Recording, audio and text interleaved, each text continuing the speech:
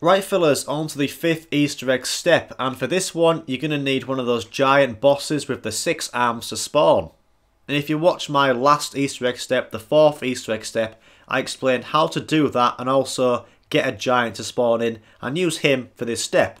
So you can always do that, but if you don't know how to get one of those giants to spawn in, all you got to do is get to high rounds and every few rounds is going to spawn in so you can play through a few rounds and wait for him to spawn when he does spawn, you want to wait till end of round, keep a few zombies, and then we can do this Easter egg step. So at the intersection of treasuries, you're going to see this Scepter of Ra sword. It's going to be in this crystal here. There it is. And what we're going to do is get the giant boss to use one of his attacks to get that sword out of the crystal for us to pick up. And the attack the giant is going to use is that shield wavy energy one. I'm going to show you what to do here, fellas. So I've got the boss here, the giant. I started shooting him, started shooting him in the weak spots. That's always a good thing to do.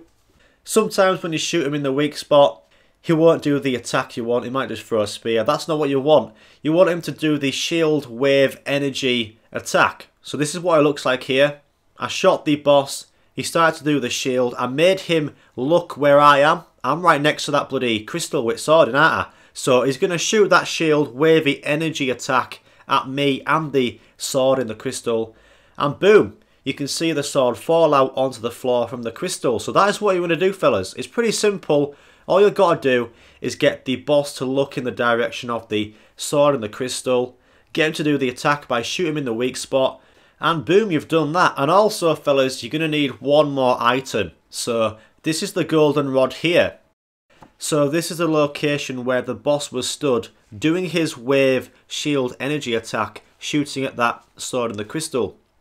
And this is where the golden rod will spawn. So if you don't know where the golden rod is, you want to make sure you remember where the boss was stood when he did that shield energy attack to get the sword out of the crystal. And all you do is pick up this golden rod and you've got both of those parts and you can move on to the next step.